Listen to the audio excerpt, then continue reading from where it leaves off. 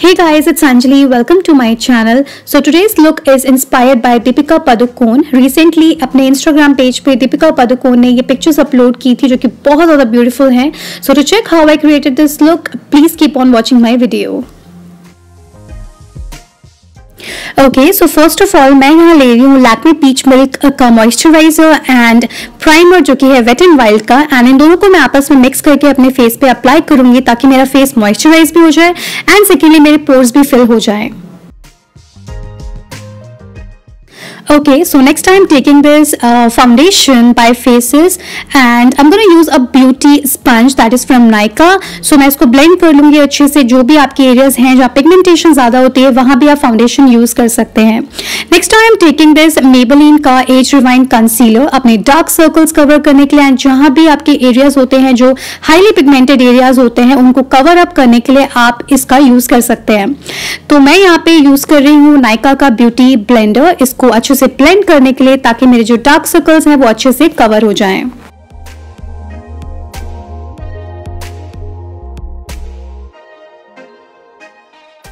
Next I'm taking this Maybelline Compact Powder and with the help of a buffing brush I'm going to cover up my neck area and the face area and especially the areas where I tend to get more oil and next I'm taking this uh, Wet n Wild का eyebrow enhancer and अपनी eyebrows को काफ़ी like naturally मुझे रखना अच्छा लगता है so Deepika Padukone ने भी काफ़ी ज़्यादा natural ही रखी हैं next I'm taking this Hilary Rhoda का eyeshadow palette and एक light brown shade लेते हुए मैं इसको a transition shade apply करूँगी एंड सेम शेड को मैं अपने लोअर लैश लाइन पे भी अप्लाई करूँगी। नेक्स्ट मैं दे रही हूँ इसे थोड़ा सा डार्क कलर का शेड अपनी आईज को थोड़ी डेप्थ प्रोवाइड करने के लिए एंड इसी सेम कलर को मैं अपनी क्रीज पे भी यूज़ करूँगी। Next I am taking this highlighter from makeup revolution and मैं पिंक वाला जो हाइलाइटेड शेड है, इसको अप्लाई करूँगी अपने ओवरऑल आईलेट एरिया पे, जैसे कि दीपिका पदुकोण की आईलेट पे है। इसमें थोड़ा सा पिंकिश कलर का टोन है so that is the reason मैंने इसे यूज़ किया। एंड देन मैं एक एप्लीकेटर की हेल्प से अपने आईलेट के ही शेप में इसको ड्रॉ कर लूँगी, ताकि कोई मेस क्रिएट ना हो।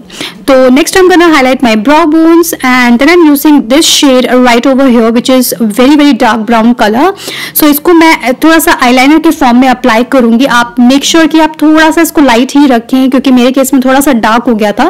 Next time using this applicator to highlight my inner corner areas of the eyes and Deepika Padukone के फेस पर थोड़ा वार्म अप सा लुक है तो मैं एक ब्राउज़र की हेल्प से अपने फेस को थोड़ा वार्म प्रोवाइड करूँगी। Then I am using this blusher and मैं मेकअप रेवोल्यूशन का जो थ्री इन वन पैलेट आता है उससे ये ब्लश अप्लाई करूँगी। लाइक like, आपको काफ़ी थोड़ा सा लाइक like, ब्लश जो है अप्लाई करना है इस मेकअप लुक को अचीव करने के लिए।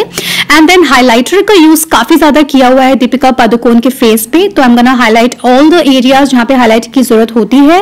Like my cheeks my nose like bridge of the nose chin my cupid's brow my forehead next time taking Swiss beauty का लिप कलर एंड अगर आपके पास एग्जैक्ट शेड नहीं है तो आप कोई भी शेड उठा सकते हो। आप रेड कलर भी यूज़ करते हो आ, कर सकते हो। And this is the entire look इसको मैं फिक्स करने के लिए सेट करने के लिए यूज़ कर रही हूँ स्विस ब्यूटी का setting spray to make this makeup look long lasting so this is my entire makeup look guys please let me know through comment section की आपको आज का वीडियो कैसा लगा। So I be back with new video soon till then take care and bye